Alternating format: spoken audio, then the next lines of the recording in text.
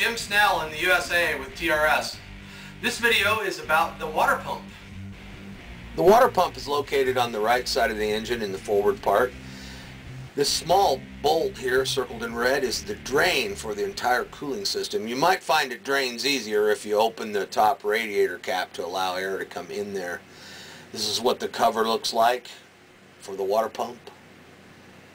And that's the plastic water pump impeller moves the water through the cooling system. Typically you can just grasp the gear on the back side and, and just unscrew the impeller. It comes off counterclockwise lefty loosey, righty tighty. And if it's giving you problems getting it off with your hand, there is a hex head to the center of it design. And you can use a 12 millimeter socket. And you can see clearly here that that's got a hex in the center of it. Or you can use a, a deep well box end wrench. Here I show the where the seal is and, and the polished part of the shaft that the seal rides on. On the back side's the drive gear, also resin, has a small circlip that holds it onto the shaft. This is a top view of the of the gear.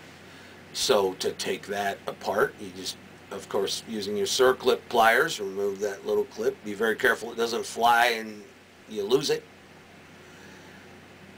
be very careful you don't open it so much that you damage it or replace it when you're working on the water pump. The back side of the gear has a slot in it that falls into a small pin that goes through the shaft. I show here the easy way to get that pin out, coax it out with a little pair of pliers and, and then grip it and just gently pulling on it, it should come right out of there. You may be able to remove the water pump shaft just by pressing on it with your hand, but I have a small bronze hammer here, a tiny one. I call it my pecking hammer.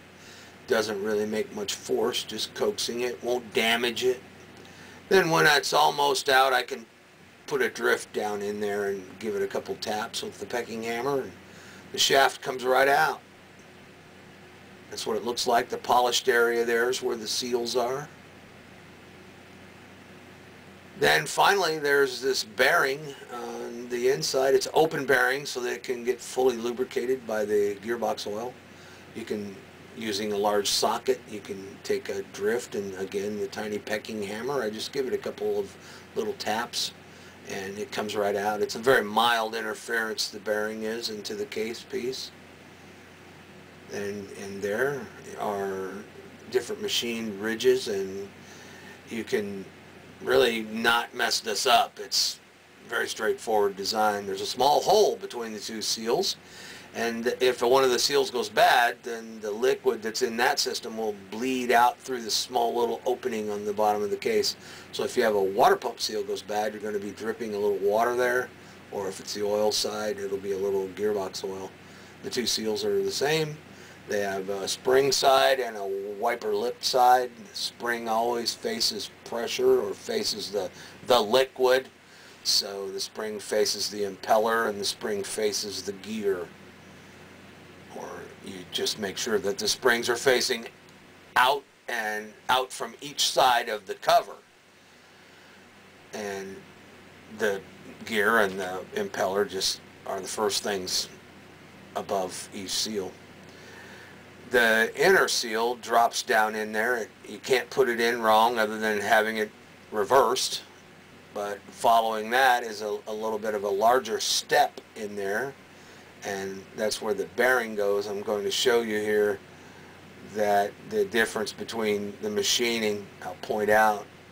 You can see here, if you look closely, a larger area on top. That's because the bearing has a larger outside diameter than the seal. So the seal goes down in there first and seats against an inner center lip to seat both seals. And then the bearing goes in there. And then these are all the components of the water pump. It's a very straightforward and very well proven design. Thank you for watching my videos.